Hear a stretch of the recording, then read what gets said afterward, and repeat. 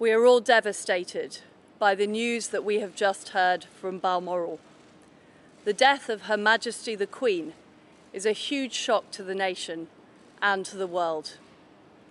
Queen Elizabeth II was the rock on which modern Britain was built.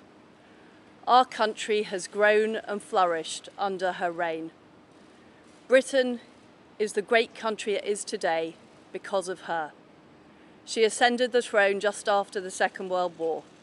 She championed the development of the Commonwealth from a small group of seven countries to a family of 56 nations, spanning every continent of the world. We are now a modern, thriving, dynamic nation. Through thick and thin, Queen Elizabeth II provided us with the stability and the strength that we needed. She was the very spirit of Great Britain, and that spirit will endure. She has been our longest ever reigning monarch. It's an extraordinary achievement to have presided with such dignity and grace for 70 years.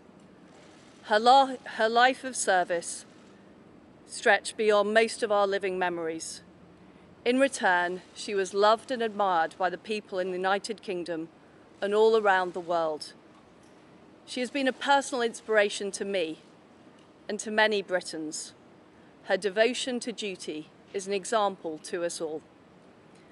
Earlier this week, at 96, she remained determined to carry out her duties as she appointed me as her 15th Prime Minister.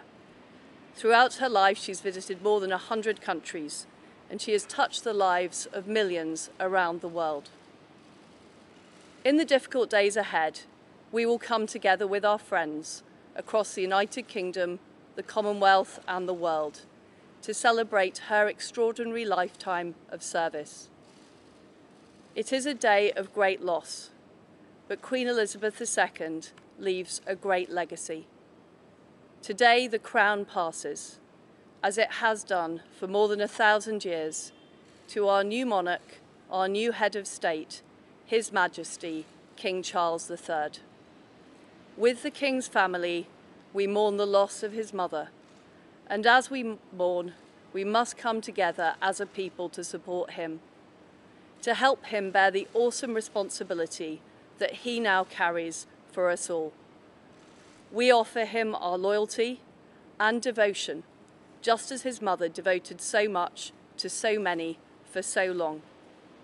And with the passing of the second Elizabethan age, we usher in a new era in the magnificent history of our great country, exactly as Her Majesty would have wished, by saying the words, God save the King.